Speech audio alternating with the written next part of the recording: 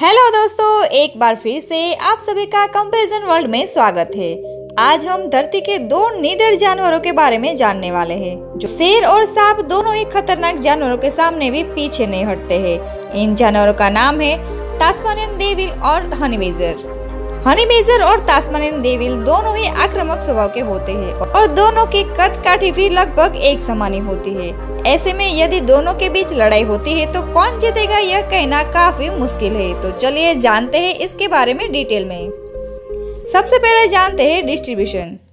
तास्मानियन devil पूरी दुनिया में सिर्फ़ ऑस्ट्रेलिया में ही पाया जाता है। इसके ज़्यादातर आबादी तास्मानिया द्वीप पर पाई जाती है।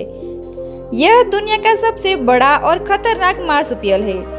दूसरी तरफ़ honey badger Africa, Britain, Asia और आयरलैंड में पाया जाता है। इसको दुनिया का सबसे निडर जानवर माना जाता है। साइज़। टास्मानियन डेविल की लंबाई तीन से चार फीट और वज़न करीब चौदह किलोग्राम होता है, जबकि हनी बीजर की लंबाई तीन फीट और वज़न बारह किलोग्राम के करीब होता है। वज़न और लंबाई के मामले में दोनों ही एक समान हैं। दोस्तों, आप जानते हैं इन दोनों के बिहेवियर के बारे में। टास्मानियन डेविल एक निशाचर जीव है, जो अपना ज़्यादातर शिकार रात को ही करता है। रात के अंधेरे में इसकी काली त्वचा इसको काफ़ी फ़ायदेमंद होती है। यह पेड़ पर चढ़ सकता है और आसानी से पानी में तैर भी सकता है। हनी बेजर काफ़ी गुस्सेल स्वभाव का होता है। यह भी ज़्यादातर अकेला ही रहना पसंद करता है। यह सूखे मैदान, रेगिस्तान और समुद्री चट्टानों में रहना पसंद करता है। डाइट टास्मनियन डेविल एक मांसाहारी प्राणी है जो अपने आहार में सभी तरह के मरे हुए जीवों को खाता है। इसके अलावा यह अपने से छोटे सभी जीवों पर हमला करके उनको अपने आहार में शामिल करता है।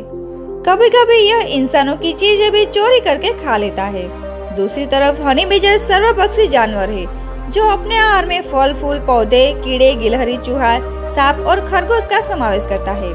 कभी कभी यह इंसानों के मुर्दे को कब्र से खोदकर खाता है। हनी इसका सबसे पसंदीदा खुराक है। यह मधुमक्खी के छत्ते में घुसकर पूरा छत्ता उड़ा लेता है। Attack and prey Tasman devil ज़्यादातर रात को ही शिकार करता है। यह रात के समय अंधेरे में चुपके से शिकार के करीब जाता है और बाद में 200 psi की स्पीड से उसको काटता है। इसकी बाइट फोर्स दूसरे जानवरों से काफ़ी कम है, लेकिन इसकी बाइट की ताकत काफ़ी मज़बूत है। दूसरी तरफ़ हनी बेजर एक खतरनाक और चालाक जानवर है। यह अपने आसपास आने वाले सभी जीवों पर हमला करता है। यहाँ तक कि शेर, जगुआर और लेपर्ड जैसे जानवरों के सामने भी भिड़ जाता है। यह इंसानों की तरह प्लानिंग करके शिकार करता है। इसकी चमड़ी काफ़ी मोटी होती है। इसी वजह से इसको दूसरे शिकारी जानवर काट नहीं सकते हैं। वो वोल्विन हनी बेजर और तास्मनियन डेविल दोनों ही लगभग एक जैसे ही है। इसीलिए दोनों की लड़ाई काफ़ी रोमांचक होगी। एक तरफ़ टास्मानियन डेविल का बाइट फोर्स हनी बेजर से ज़्यादा होता है तो दूसरी तरफ़ हनी बेजर डेविल से थोड़ा बड़ा और उसके पंजे काफ़ी नुकीले होते हैं, जिसकी मदद से वो तास्मानियन डेविल को काफ़ी चोट पहुँचा सकता है। तास्मानियन डेविल एक साथी जानवर है और वो रात को बहुत ही अच्छे से देख सकता है, पर इसकी यह ताकत हनी बेजर के सामने बिल्कुल भी काम नहीं आएगी। एक तो हनी बेजर बहुत ही चालक होता है और ऊपर से इसकी चमड़ी भी काफ़ी मोटी होती है, जिसको काटना तास्मनियन डेविल के बस की बात नहीं है। इसीलिए इस लड़ाई में हनी बेजर ही जीतेगा। दोस्तों, आपके हिसाब से कौन जीतेगा, यह हमें कमेंट करके ज़रूर बताएँ।